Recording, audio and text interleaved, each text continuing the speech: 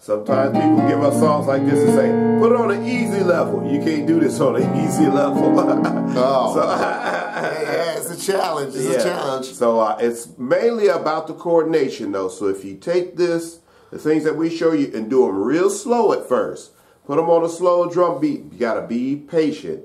If you do it, if you stay slow for a long time, then when you speed it up, it'll sound good. All right? Yeah. Uh, so what? So what we'll do here? We'll give you. We'll give you the framework. We'll do. We'll give there you, the. we'll give you the tools. Um. So. That's in the seven. key of B flat. Uh huh. Uh huh. And that's the circle of fourths. If you know the circle of fourths, this will be a lot easier for you. So it's a seven chord. Seven. Then three. Three. Sharp nine, sharp five. Sharp nine, sharp five. Uh-huh. And then the sixth chord is minor.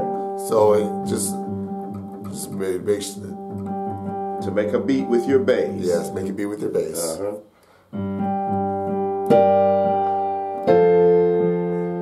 Uh-huh.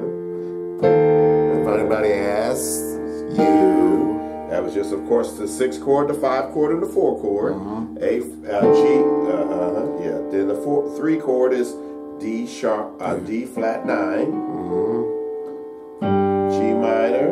What's the matter? F major. Me. Uh, e flat major. Uh-huh. Then just go back, and then get ready to do.